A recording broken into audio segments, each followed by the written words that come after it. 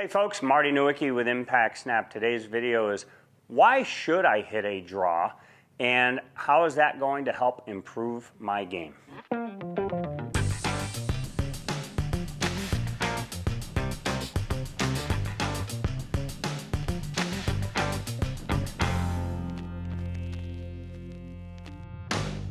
I think as people develop as golfers, we want to have the ability on demand to curve a ball to the right, curve a ball to the left, understand the variables that go into curving a ball, the variables that go into trajectory of the ball.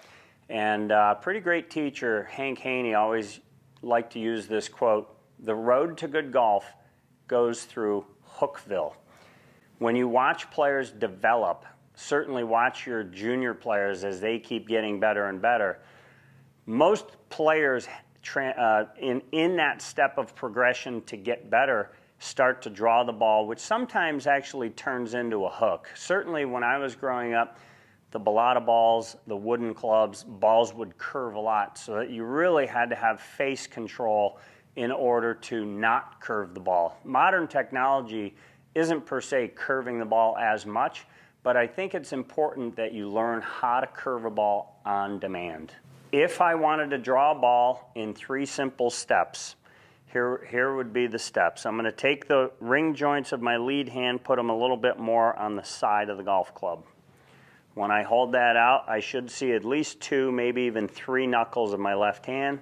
Club face is going to be relatively vertical, and if you uh, have the appearance that you have a little bit of forward press or your lead arm is slightly ahead of the shaft, that would be quite all right.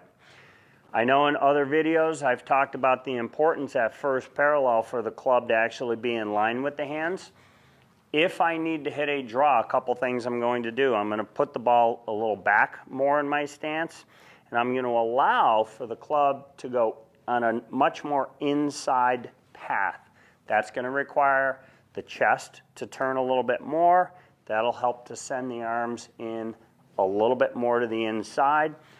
If I want to hit a draw, nice simple image is that I want the club coming at an angle from the inside.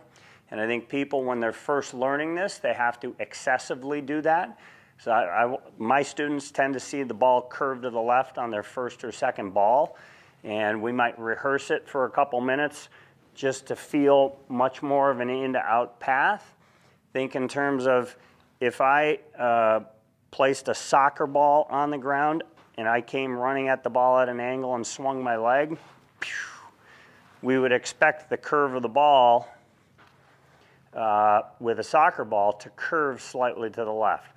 Well, we're trying to set up the same scenario. The club face would be acting as our foot.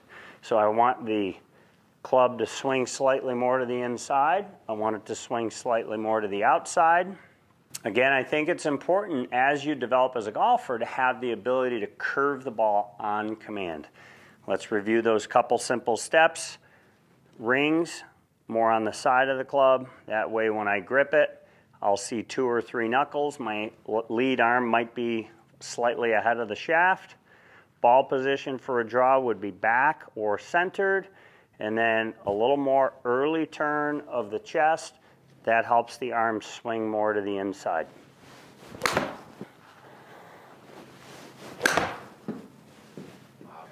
Yeah, there, there are a lot. Well, having the ability. It's like, don't you want to just go down your list and say, hey, I want the ball to do this.